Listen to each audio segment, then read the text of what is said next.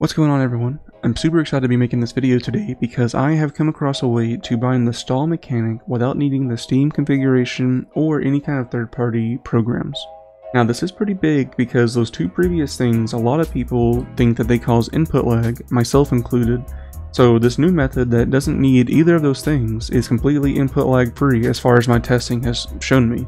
I've been using it for the past few days and it has been just fantastic.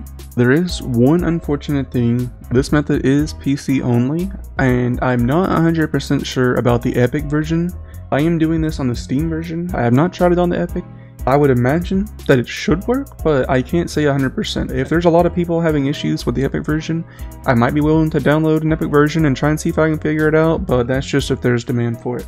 So without any further delay, let's just get right on into the first step. So the first thing that you're going to want to do is find wherever your documents folder is. And if you don't know how to find that, the easiest way to do it is just to go down to this bottom left here, just type in documents, and it'll it should pop right up. Once you're in your documents, you're going to want to scroll down for a little bit until you find My Games. Go ahead and click on that. It'll open it up to a lot of your Steam games, and Rocket League should be in there somewhere. Go ahead and click on it. Alright, you should have two folders here. You might have more depending on if you have some kind of weird view or whatever, but the one you're looking for is TA game. And then you're going to have a bunch right here. You're going to be looking for config. And you should get a few more settings. And then the one you're looking for is the one that says TA input. These uh these other two you don't have to worry about, just the TA input. You're going to go ahead and open it up with whatever you use to edit files of this sort. It can be anything. Alright. So once you get into the TA input, it should look a little something like this. Uh, you're going to scroll down for a little while.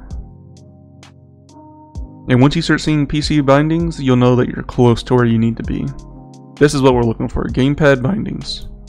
So I am going to scroll down just a little bit to make it a little easier.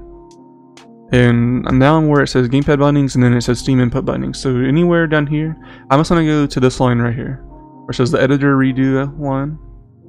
I'm gonna uh, click behind it, hit enter a few times just to give me some space, scroll back up, and now I'm gonna paste these three lines of code, and I will have these lines of code in my description, so all you have to do is copy and paste it just like I did.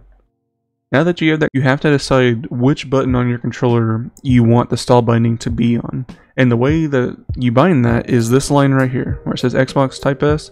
I have mine set to the Xbox button B, which on PS4 is circle. But you can set that binding to whichever button on the controller you want. It doesn't have to be B or circle. And the way that you figure out which name you need to use for the button you're wanting is by scrolling up a little ways above PC bindings. Alright, and once you see this scaleform.keymap, you've made it. All of these lines here are the names for the buttons on the controller. So, for example, let's just say you want to use, uh, I know one spot that a lot of people have is L1. Uh, so the actual name that you would have to use is all this. It has to start from the Xbox Type S, you go all the way over uh, to here before the equal sign, and you just copy that. You don't need any of this. All you need is this first part that we highlighted before the equal sign. And you go all the way back down, once you have that copied, you go all the way back down to where we just were and you're gonna do this. You're just gonna highlight over this whole thing I have that's inside these two quotations, where it says key equals, you're gonna highlight inside it, and just paste it in there. That yours will say Xbox Type S and then underscore left shoulder. And you're gonna do that for all of these. You're gonna change yours to this. They said it had the B there, and it's gonna have the B here as well. Then I'm changing it to the left shoulder. So you'll have three lines that have left shoulder somewhat kind of close together, and that's because you're binding jump, roll right, and yaw left. You're binding all of that to the same exact button, which is whichever button you pick. Okay, now that you have which button you want bound, you're gonna go ahead and save this uh, file. But if your settings are like mine, this is going to happen when you try to save it. And that's because this file is set to read-only mode. Okay, now the easiest way to change that would be come back to the screen, just leave your leave your notepad, leave it uh, minimized. Come back to the screen where you clicked on TA input originally, right click on it, go to your properties, and then right here, read only, and click that, or you're going to uncheck it, sorry, make sure it's not checked at all, apply it, And then you're gonna reopen. You're gonna reopen your thing and save it now, and it'll save, no issues. When once that star on the top left by the the file name goes away, you know that it's saved. If that little dialog box doesn't open back up, you're good to go. Now, now that that actually did save, I do recommend going back and putting it back to read only. Go ahead and apply it. Your settings still should be saved whenever you open it back up. Let's just scroll down to see. We can still see where I put that. And there it is. It looks a little different because I'm not in full screen mode, but that is what we just did. And if I full screened it, it would just be the three lines again, so don't don't get uh, worried about that. Okay, now that that file is saved and we have our binding set, let's see if it works. And it does.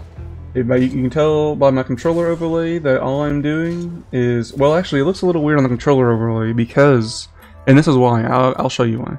So now, I ha I do have jump set to my X button. I'm on PS5 controller. It is set to X, but because we changed those uh, the file, we, we changed the binding in that file, it's going to show the wrong button here for your bindings now. But X will still work. It will still work for your jump button. Uh, these are going to look a little weird. There is going to be a circle on the three things that we changed and that's just because of the file that we changed. But your jump button, you can still use just X. Like, you don't have to stall every single time. It just looks that way in the settings. And as you can see, like, if I hit just circle, it'll still jump. But to, in order to stall, you do have to be in the air whenever you click the stall button. But yeah, that's pretty much it. No input lag, no third-party software needed. Um, if you guys have any questions at all, please comment. I will I will help you. I will work this out with you. I will get it going. I love this mechanic. It's so fun to learn and to do. So and I would love for everyone to learn how to do it. Absolutely feel free to comment and I will get back to you and we will work it out. You guys made it this far, I definitely appreciate it and I will talk to you in the next one.